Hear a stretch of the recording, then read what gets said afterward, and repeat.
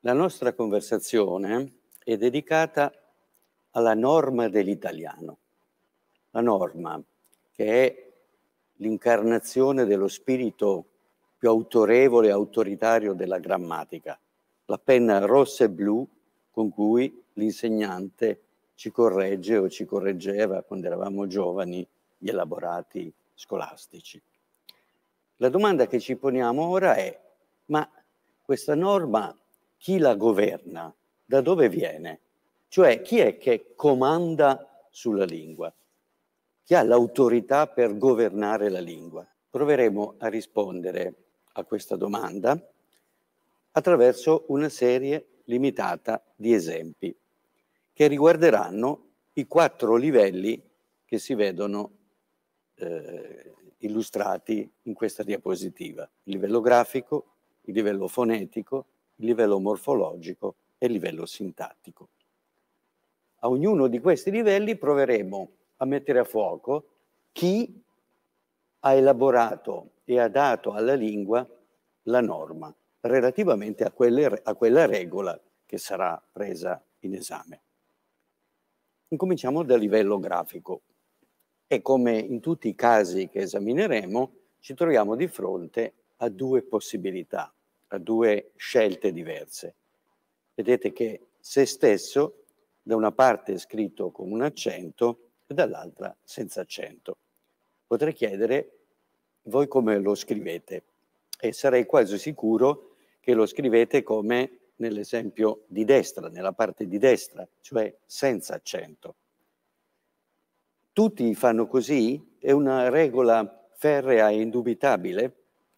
No, eh, basta eh, andare eh, in rete e ci si accorge, interrogando il motore di Google, che è un formidabile, un formidabile strumento per eh, esaminare la lingua contemporanea, che le grafie di se stesso sono almeno tre, senza accento su sé, con un accento acuto o con un accento grave.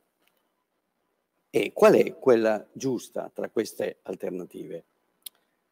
Eh, la cosa curiosa è che eh, qualunque grammatico autorevole, da Fornaciari nell'Ottocento fino a Serianni nella nostra epoca, in, in epoca contemporanea, perché quella di Luca Serianni, eh, stampata dalla UTET, è la grammatica più autorevole dell'italiano contemporaneo, dicevo, qualunque grammatico esclude che se stesso senza accento sia la soluzione giusta.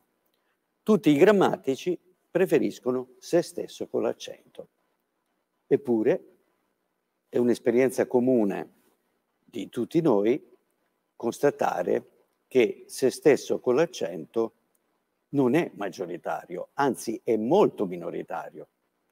Potrei citare eh, il caso addirittura di qualche rivista, di qualche periodico che ha adottato se stesso con l'accento, ma la maggioranza degli editori e degli scriventi italiani invece lo usano senza, senza accento, mentre tutti i grammatici condannano se stesso senza accento, per varie ragioni. Una ragione di ordine fonetico, quel se che si distingue dalla congiunzione, il se pronome che si distingue dalla congiunzione, è di natura sua forte e dunque va accentato.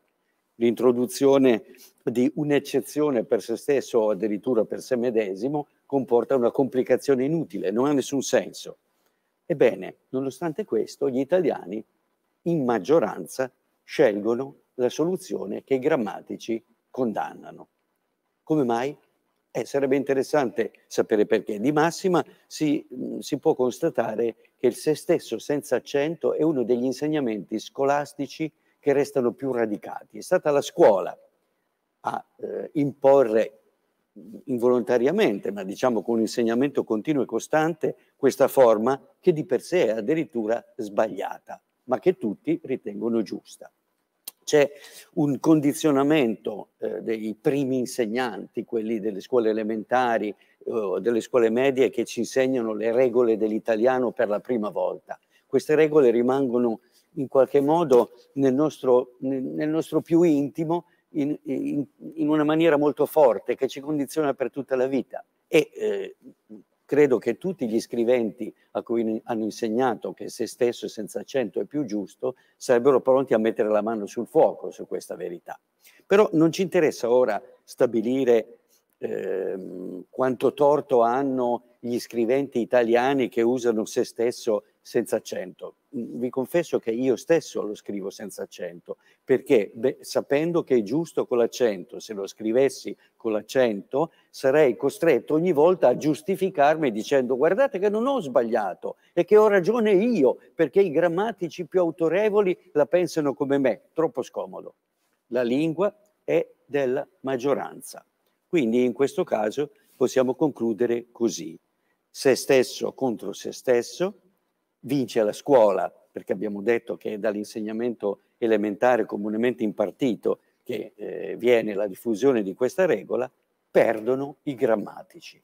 Dunque i padroni della lingua, questo l'abbiamo ora capito, non sono necessariamente i grammatici, non i più autorevoli, visto che sono i meno autorevoli che, quelli che eh, semmai eh, hanno inventato questa curiosa regola del se stesso, che dovrebbe essere senza accento. Andiamo ora eh, a un elemento eh, di eh, natura eh, morfologica ma anche fonetica, il plurale dei nomi in cia e in gia, il caso di provincia, ecco, com'è il, il, ehm, il, plurale di provincia o di ciliegia. Eh, l'alternativa, vedete qui, è province con la I o province senza I, ciliegie con la I o ciliegie senza I. Anche qui ognuno di noi può chiedersi, beh, ma io come scrivo? E io penso che eh, la maggior parte di noi sia convinta, e non a torto, dell'esattezza di province senza la I e probabilmente di ciliegie con la I. Eh, l'adesione a questa soluzione che ho detto ehm, ci riporta questa volta a un grammatico. Era stato Bruno Migliorini, all'inizio, nella prima metà del Novecento, a eh, codificare la regola per il plurale, il plurale, dei nomi in cia e in gia, ricorrendo eh, a quella formulazione che oggi si impara anche a scuola, cioè se cia e gia è preceduto da consonante o è preceduto da vocale. Preceduto da consonante perde la i, preceduto da vocale conserva la i. Come mai Migliorini aveva, che è uno dei, degli illustri grammatici, anche il, il primo eh, grande maestro della storia della lingua italiana, come mai Migliorini aveva adottato, eh, eh, proposto questa regola? Perché il plurale di quei nomi creava molte difficoltà. Perché come ci si comportava prima di questa regola di Migliorini? Eh, per sapere se la I si doveva conservare o no, bisognava andarne a verificare l'origine etimologica. La conservazione della I era legata alla sua esistenza nella parola latina che aveva dato origine alla parola italiana. E vede, una soluzione simile non è tanto semplice, è senz'altro giusta, etimologicamente giusta, però eh, primo eh, implica che il parlante conosca il latino, oppure che mentre parla, mentre scrive, meglio ancora, perché questa, eh, questa vocale, questa I, non si fa sentire foneticamente da tutti gli italiani. Alcuni italiani sì, possono pronunciare ciliegie e farlo sentire, ma non sono tutti gli italiani, per altri invece è un puro segno grafico, quindi siamo a cavallo tra un problema di grafia e un problema di pronuncia. Ecco, eh, dicevo, eh, eh, non è tanto semplice mentre si scrive, eh, magari in una situazione ehm, eh, fuori di casa, senza la propria biblioteca, non è tanto semplice ricorrere al vocabolario latino anche se oggi esistono dei vocabolari latini persino sul telefonino, ma eh, è molto scomodo dover decidere in base a un'etimologia. Ecco perché Migliorini inventò questa regola e questa regola avuto grandissima fortuna, è quella che ci hanno insegnato a scuola. Potremmo dire, questa volta, a differenza del primo caso di se stesso, la vince il grammatico, ma non la vince proprio del tutto, perché per esempio, ancora oggi, andando in giro e guardando il nome di una banca di qualche importanza, la Cassa di risparmio delle province lombarde, si vedrà che le, la Cassa di risparmio delle province lombarde ha conservato la grafia precedente alla regola di Migliorini, perché in questo caso questa I è etimologica. La regola di Migliorini andava quasi sempre d'accordo con l'etimologia, ma ahimè, essendo una regola che tagliava la testa al toro, diciamo, e che divideva tra eh, due opzioni secche, eh, proprio per semplificare la vita dello scrivente e del parlante, questa regola aveva qualche problema, in qualche caso andava contro all'etimologia, cioè contro alla tradizione. La Cassa di risparmio delle province lombarde ha conservato la grafia ante regola di Migliorini. E le ciliegie, ecco qua, qui per esempio si vedono delle ciliegie vignola che rispettano la regola di Migliorini e qui invece eh, si vedono delle ciliegie, anzi un gelato alle ciliegie eh, e anche una confettura di ciliegie che non rispetta la regola di Migliorini. Eh, nel caso di ciliegie, non rispettare la regola di Migliorini ha un senso, se vogliamo, perché quella I non è di origine latina. Eh, la parola cerasam ciliegia in latino non aveva eh, la I.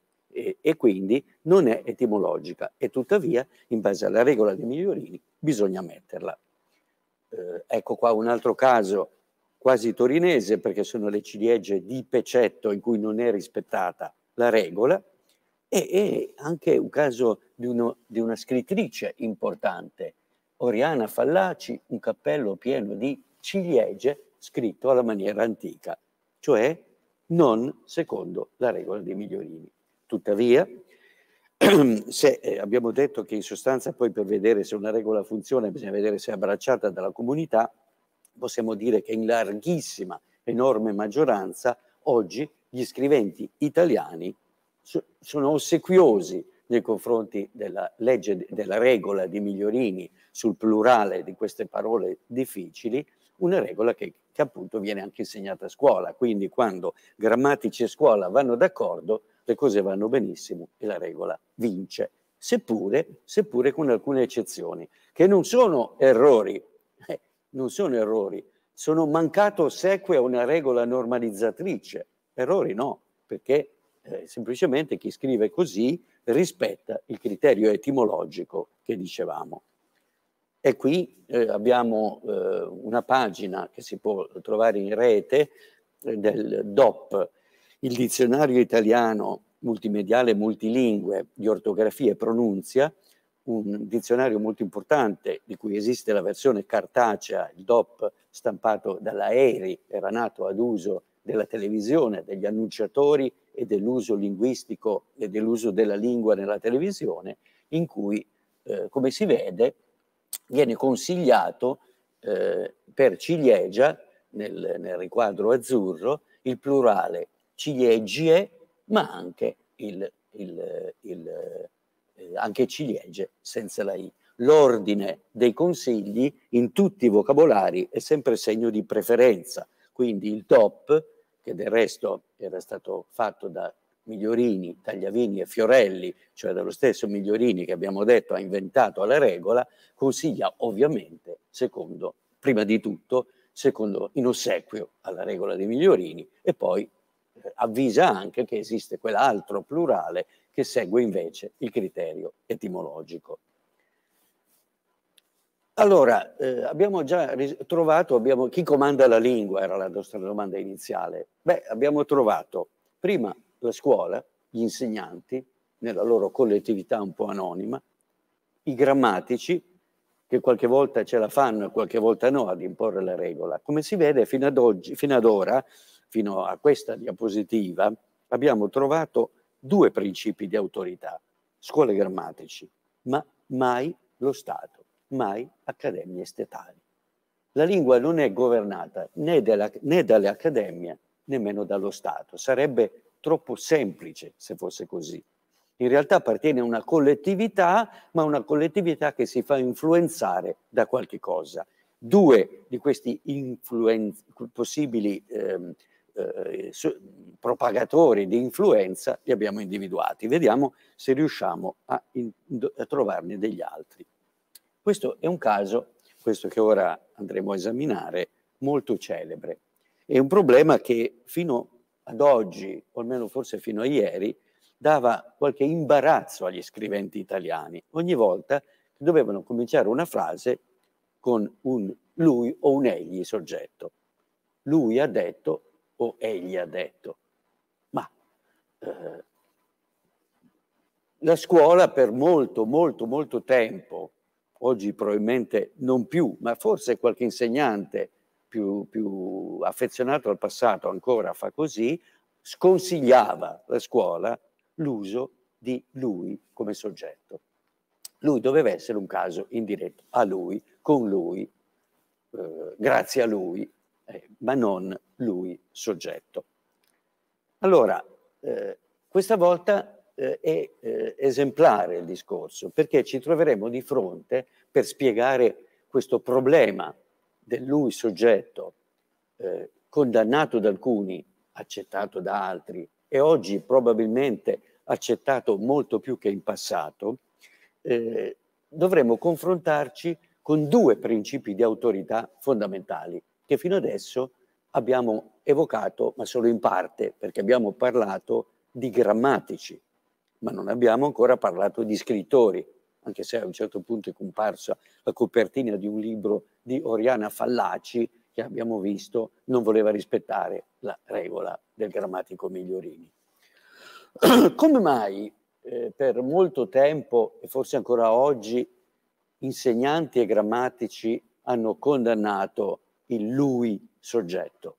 Eh, l'hanno fatto perché eh, il principe dei grammatici italiani all'inizio del Cinquecento, nel 1525, Bembo, Pietro Bembo, è il fondatore del, delle regole della lingua italiana così come sono state riconosciute e come sono state applicate per secoli e secoli.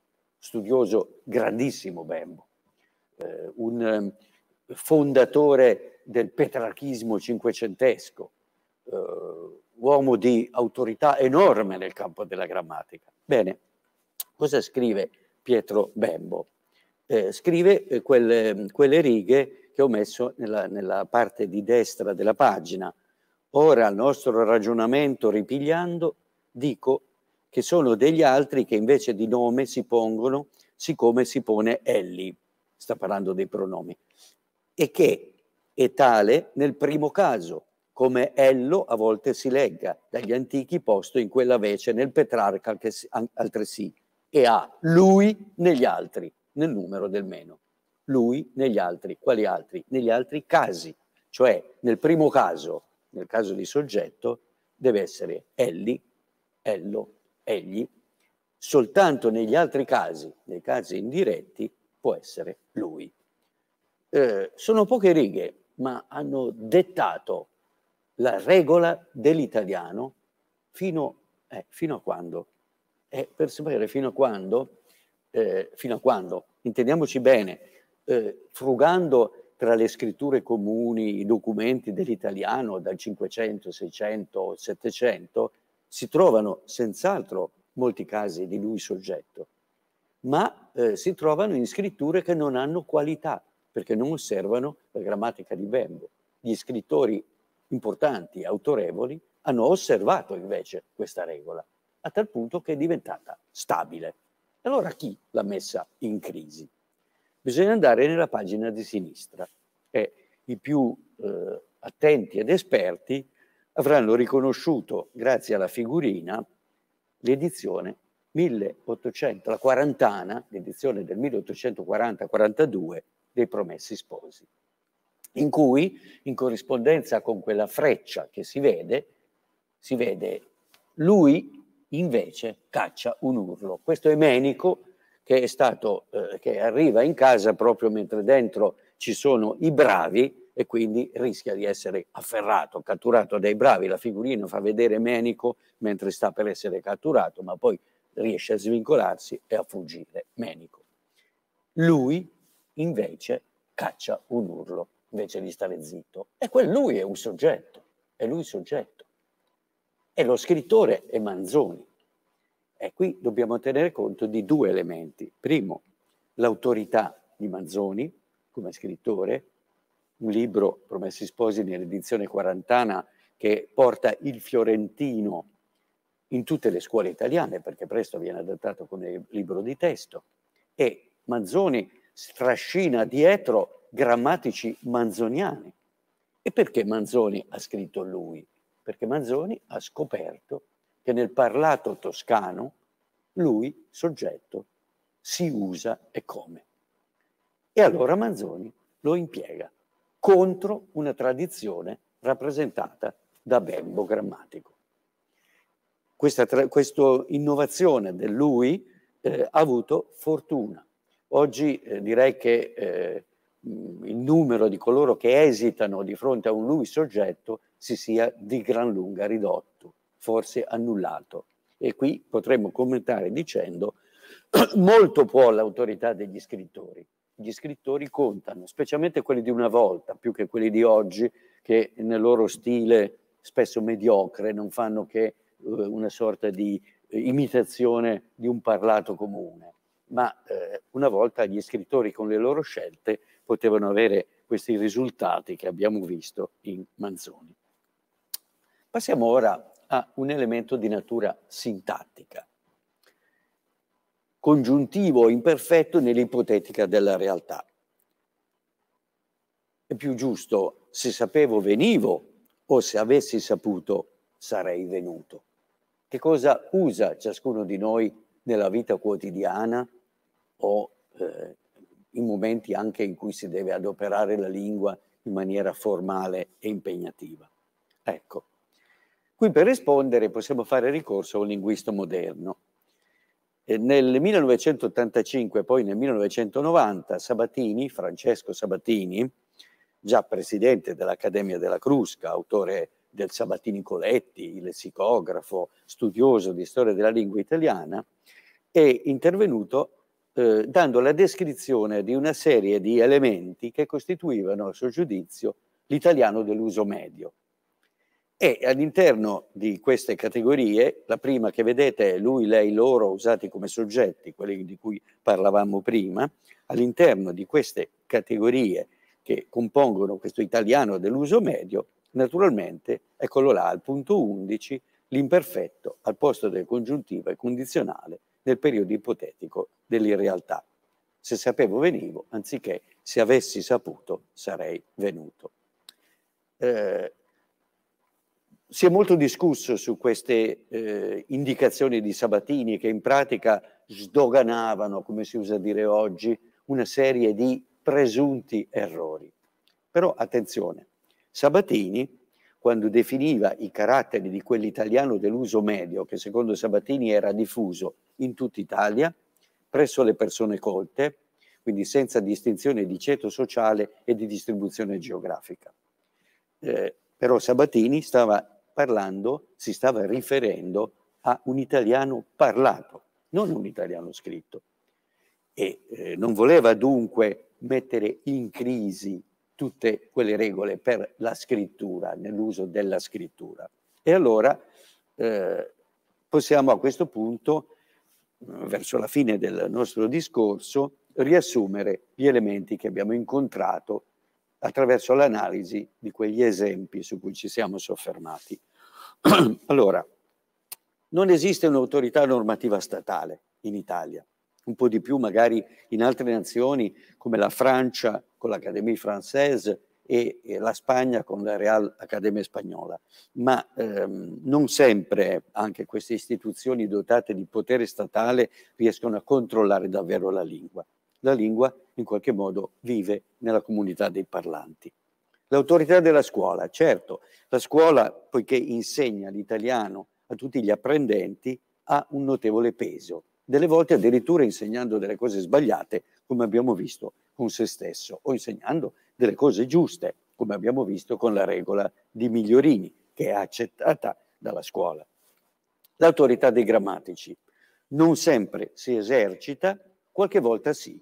L'abbiamo verificato nella regola di Migliorini e indirettamente anche nella eh, esclusione ad opera di Pietro Bembo fin dal 1525 del lui soggetto.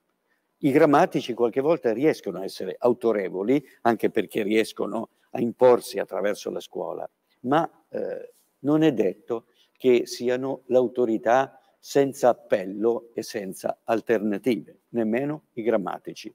I grammatici in base a che cosa scelgono, tra l'altro? Beh, eh, uno dei principi che li può ispirare è eh, la razionalità del sistema, quindi possono razionalizzare il sistema. La regola dei migliorini è un esempio tipico di questa razionalizzazione di, un, di elementi che nel sistema erano troppo complicati. Oppure possono anche ispirarsi, anche i grammatici, all'autorità degli scrittori. Prima ho detto che eh, dietro a Manzoni venivano, veniva la lunga fila dei grammatici manzoniani. Eh, con l'ultimo esempio, quello sintattico di se sapevo venivo, se avessi saputo sarei venuto, eh, ci siamo avvicinati a un altro problema interessante che tocca la norma, cioè la norma viene a volte intesa in una maniera univoca, come qualcosa di bianco o nero, senza alternative. Non è così, perché in realtà esiste un uso diverso della lingua a seconda di certe varietà che nella diapositiva che si vede qui sono chiamate con un termine tecnico, su cui ora però eh, chiariremo, diatopica, diastratica, diafasica. In sostanza vuole dire che si parla in modo diverso a seconda del luogo in cui si è, in Italia questo è molto notevole perché esistono gli italiani regionali che vengono usati anche dalle persone colte, quindi differenze geografiche all'interno della medesima lingua, un fiorentino non parla come un torinese e non parla come un siciliano, diastratica e diafasica, cioè legati al livello di discorso per cui non si parla allo stesso modo in una cena in famiglia in un discorso al Quirinale, se sapevo venivo, se avessi saputo sarei venuto, io stesso userei tranquillamente. Se sapevo venivo in famiglia, dove sarebbe addirittura affettato a ricorrere a una forma diversa, ma certo se parlassi di fronte a un consesso importante, al Presidente della Repubblica, in una conferenza formale, userei se avessi saputo sarei venuto. Ecco una differenza legata al livello della comunicazione. Ehm, L'italiano moderno eh, ha eh, mostrato naturalmente eh, da sé, eh, attraverso l'uso della gente, ma anche attraverso le scelte degli scrittori contemporanei, spesso non tanto attenti eh, al, allo stile, eh, una certa acquiescenza crescente verso il parlato e i modelli informali. Certo, esiste una retorica dell'informalità, così come esiste il gusto oggi eh, di levarsi la giacca quando si fa un intervento pubblico, come dire sono più vicino al pubblico, così parlo con un italiano meno forbito perché così sono più vicino alla gente, sono più spontaneo. Eh, abbiamo dunque messo in chiaro che il potere della lingua è, è frazionato, sta nelle mani di enti, istituzioni, le accademie, certe accademie, in Italia l'Accademia della Crusca anche, in Francia l'Accademia Française, ma in maniera frazionata, cioè nessuno di coloro che controllano la lingua la controlla completamente, né i grammatici, né gli insegnanti, né le accademie, tantomeno lo Stato. La risposta definitiva in fondo la dà la comunità, perché la lingua è un organismo eh, profondamente democratico eh, che eh, decide da sé dove deve andare, il che non vuol dire poi che eh, ci sia una situazione di anarchia, non è così, perché c'è un equilibrio di forze, un equilibrio di tendenze. C'è nelle regole, c'è nelle parole. Eh, per esempio avrete notato che ehm, per tutto il tempo io ho chiamato le, le diapositive diapositive e non slide, per esempio. Lo so benissimo di essere in minoranza, perché i parlanti italiani in linea di massima sceglierebbero e scelgono slide, ma eh, non, eh, non, non, si è obbligati naturalmente a andare in quella direzione. Eh, chi non ama, in questo caso, un forestierismo, può ricorrere a una posizione diversa e usare una parola italiana che ritiene ugualmente legittima. La lingua è anche questo, cioè all'interno della lingua c'è concorrenza tra le forme. Eh, due forme possono essere in concorrenza per secoli, come è stato per esempio per il lui soggetto in alternativa a l'egli soggetto. Per molto tempo quel lui soggetto era naturalmente in concorrenza, ma in un livello basso, minoritario, perché era da ignoranti, perché Bembo aveva codificato una regola diversa. Ma lei, soggetto, non è sparito, ha continuato a esistere e con Manzoni è riemerso. E forse oggi sta vincendo. Quindi all'interno della lingua, nei casi, nei casi grigi, diciamo, in cui non, non c'è un errore marchiano, perché se la comunità riconosce l'errore marchiano, questo errore rimane a livello di errore e non ha nessuna possibilità di vincere. Eh, io ando a scuola è una forma che non verrà accettata dagli italiani eh, a nessun livello, né dai meno colti né dai più colti, quindi non entra in concorrenza. Ma lui, lei, come dicevamo, questa concorrenza l'hanno sviluppata e magari ci vogliono secoli per vedere, per scoprire chi la spunta, cioè chi vince. E dov'è dunque il potere della lingua?